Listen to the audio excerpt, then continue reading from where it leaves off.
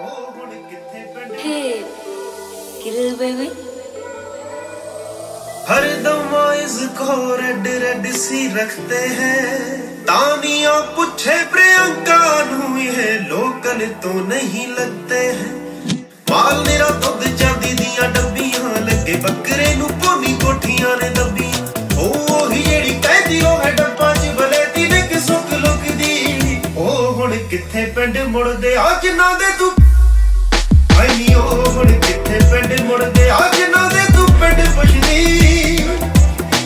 ਆਏ ਉਹ ਹੁਣ ਕਿੱਥੇ ਪਿੰਡ ਮੁੜਦੇ ਆ? ਜਿਨ੍ਹਾਂ ਦੇ ਤੂੰ ਪਿੰਡ ਪੁੱਛਦੀ। ਆਈ ਉੱਠੂ ਆਥੜੀ ਮਡੀਰ ਹੁਣ ਸੁੱਤੀ ਪਈ ਆ। ਬਰੰਡਾ ਵਾਲੀ ਕੁੜੇ ਕੱਟ ਫੁੱਟੀ ਪਈ ਆ।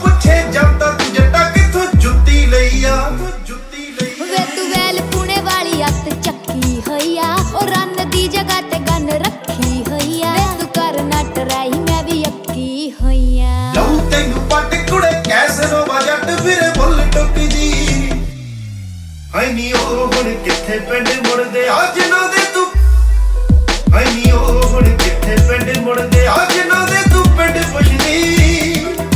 ਉਹ ਕਿਤੇ